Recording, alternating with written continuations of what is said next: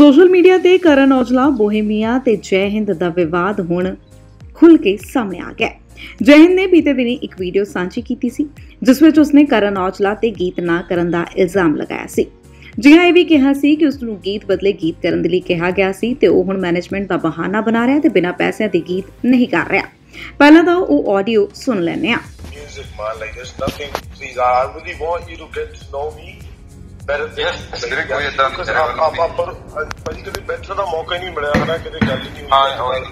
it was always like you know like ਥੋੜਾ ਜਿਹਾ ਹੋਰ ਤਰ੍ਹਾਂ ਸੀਗਾ so I, I really want to sit down with you you know you know try to see and actually create something it's not about doing no songs we can do 100 songs but like ਭਾਜੀ it has to work from my side especially ਜੇ ਮੈਂ ਕੁਝ ਕੀਤਾ ਨਾ ਵੀ ਇਦਾਂ ਨਾ ਹੋਵੇ ਵੀ ਫੇਰ ਗਾਣਾ ਤੇ ਉਦਾਂ ਹੀ ਹੋਇਆ so I, I just want that Yeah.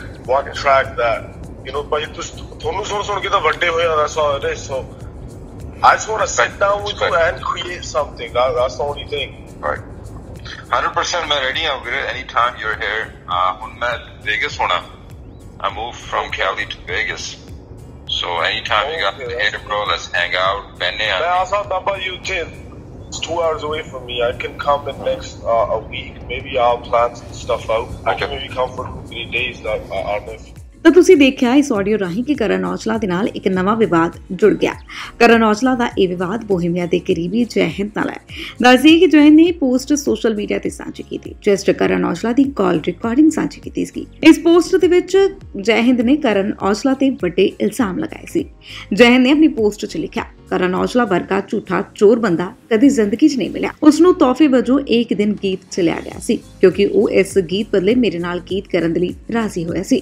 ਜਦੋਂ ਕੰਮ ਨਿਕਲ ਗਿਆ ਤਾਂ ਇੱਕ ਦਿਨ 'ਚ ਕੰਮ ਕਰਨ ਦੇ ਨਾਲ ਕਰਨ ਨੂੰ ਲਿਆ ਗਿਆ ਤਾਂ ਉਹ ਧੰਨਵਾਦ ਪਾਜੀ ਬਹੁਤ ਸਾਰਾ ਪਿਆਰ ਪਾਜੀ ਇਹ ਮੇਰੇ ਲਈ ਬਹੁਤ ਮਾਇਨੇ ਰੱਖਦਾ ਪਾਜੀ ਸਿਰਫ ਇਹੀ ਕੁਝ ਕਹਿ ਰਿਹਾ ਸੀ। ਪਰ ਅੱਗੇ ਉਹਨਾਂ ਲਿਖਿਆ ਕਿ ਜਦੋਂ ਅਲੱਗ ਤੋਂ ਗੀਤ ਬਦਲੇ ਗੀਤ ਕਰਨਾ ਸੀ ਤਾਂ ਉਦੋਂ ਕਰਨ ਔਜਲਾ ਨੇ ਗੇਮਾਂ ਖੇਡੀਆਂ। ਉਹਨੇ ਕਿਹਾ ਕਿ 2 ਸਾਲਾਂ ਤੋਂ ਉਸਨੇ ਮੈਨੂੰ ਤੇ ਬੋਹੇਮੀਆ ਪਾਜੀ ਨੂੰ ਪੂਰੇ ਸਾਗਾ 뮤직 ਟੀਮ ਨੂੰ ਇੰਤਜ਼ਾਰ ਕਰਵਾਇਆ। ਦੱਸਦੀ ਕਿ ਇਸ ਪੋਸਟ 'ਚ ਜੈ ਹਿੰਦ ਨੇ ਕਰਨ ਔਜਲਾ ਨੂੰ ਗਾਲਾਂ ਵੀ ਲਿਖੀਆਂ ਸੀ, ਜੋ ਸਕਰੀਨਸ਼ਾਟ 'ਚ ਦੇਖੀਆਂ ਜਾ ਸਕਦੀਆਂ ਸੀ। ਇਸ ਤੋਂ ਇਲਾਵਾ ਜੇਕਰ ਗੱਲ ਕਰੀਏ ਤਾਂ ਇਸ ਵਿਵਾਦ ਦੇ ਵਿੱਚ ਹੁਣ ਸੁਲਤਾਨ ਨੇ ਐਂਟਰੀ ਮਾਰ ਲਈ ਹੈ। ਜੀ ਹਾਂ, ਸੁਲਤਾਨ ਨੇ ਵੀ ਬੋਹੇਮੀਆ ਦਾ ਮਜ਼ਾਕ ਉਡਾਇਆ। ਜੀ ਹਾਂ, ਤੁਹਾਨੂੰ ਦੱਸ ਦਈਏ ਕਿ ਇਸ ਵਿਵਾਦ ਤੇ ਕਰਨ ਔਜਲਾ ਨੇ ਜਿੱਥੇ ਮਿਡਲ ਫਿੰਗਰ ਦਿਖਾਉਂਦਿਆਂ ਦੀ ਇੱਕ ਤਸਵੀਰ ਸਾਂਝੀ ਕਰਕੇ ਜੈ ਹਿੰਦ ਤੇ ਬੋਹੇਮੀਆ ਨੂੰ ਜਵਾਬ ਦਿੱਤਾ ਹੈ।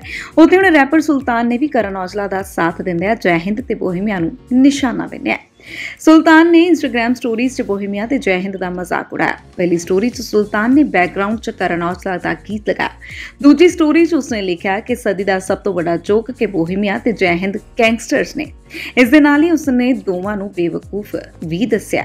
ਤੀਜੀ ਸਟੋਰੀ 'ਚ ਉਸਨੇ ਜੈ ਹਿੰਦ ਦੀ ਇੰਸਟਾ ਆਈਡੀ ਦਾ ਸਕਰੀਨਸ਼ਾਟ ਸਾਂਝਾ ਕੀਤਾ ਜਿਸ 'ਚ ਉਸਨੇ ਇਹ ਦੱਸਣ ਦੀ ਕੋਸ਼ਿਸ਼ ਕੀਤੀ ਹੈ ਕਿ ਜੈ ਹਿੰਦ ਨੇ ਉਸ ਨੂੰ ਬਲੌਕ ਕਰ ਦਿੱਤਾ ਹੈ। ਨਾਲ ਹੀ ਮੁੜ ਉਸਨੇ ਬੋਹੇਮੀਆ ਨੂੰ ਟੈਗ ਕਰਦਿਆਂ ਗੈਂਗਸਟਰ ਲਿਖਿਆ ਤੇ ਨਾਲ ਹੀ ਹਾਸੇ ਵਾਲੀ ਇਮੋਜੀ ਵੀ ਬਣਾਈ ਹੈ। ਫਿਲਹਾਲ ਜੇਕਰ ਗੱਲ ਕਰੀਏ ਤਾਂ ਇਹ ਕੰਟਰੋਵਰਸੀ ਲਗਾਤਾਰ ਹਾਈਪ ਦੇ ਵਿੱਚ ਆਉਂਦੀ ਹੋਈ ਨਜ਼ਰ ਆ ਰਹੀ ਹੈ, ਕਿਉਂਕਿ ਇੱਕ ਦੂਜੇ ਦੇ ਨਾਲ ਸ਼ਬਦੀ ਵਾਰ, ਜੋ ਨੇ ਉਹ ਸ਼ੁਰੂ ਹੋ ਚੁੱਕੇ ਨੇ।